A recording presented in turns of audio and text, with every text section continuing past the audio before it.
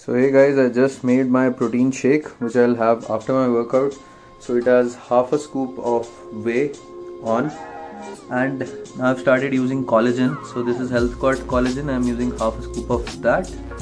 Next I added a spoon, a small teaspoon of uh, coconut oil around 5 gram and 10 ml of Keto Sports MCT oil. So I don't want I don't take my protein just like that I I add fat to it and that is my way of adding the fat. You can choose your own way have almonds walnuts or whatever you like have a fat meal along with the protein because protein alone can spike your insulin.